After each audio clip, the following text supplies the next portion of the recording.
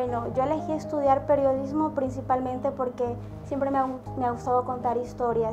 Y en la Universidad de Espíritu Santo encontré la carrera de periodismo internacional que me llamaba mucho la atención porque también siempre he sido muy ávida de, de conocer eh, culturas y también servir a la comunidad porque un periodista a través de las historias, a través de los relatos, sirve también a la comunidad que lo lee, que lo escucha, que lo conoce. La UES me dio la oportunidad de hacer un intercambio fuera del país. Fui a Canadá cerca del último semestre de mi carrera y fue una de las experiencias más enriquecedoras gracias a un contacto que hubo entre la universidad y uno de los primeros medios en los que trabajé, que fue Diario El Universo yo pude comenzar mi carrera profesional cuando tenía 19 años, me quedé en el universo cerca de cuatro años. Actualmente me desempeño como periodista de economía y negocios en Diario El Comercio.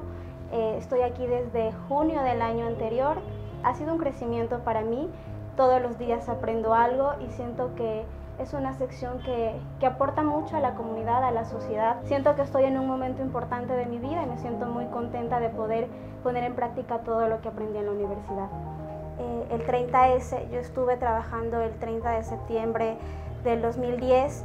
En todo ese día me di cuenta de que mi profesión iba a ser eh, todos los días así, de, de novedades, de sorpresas. Una de las formas que he encontrado un poco de despejar mi mente, ha sido tener un blog, se llama amelialaloca.wordpress.com. Hay bastante retroalimentación. Por la acogida que ha tenido, fue seleccionado para participar en un proyecto que se llama Libro Bloguero. El libro va a salir creo que en un año y ahí van a poder leer algunas de las historias que relato en el blog.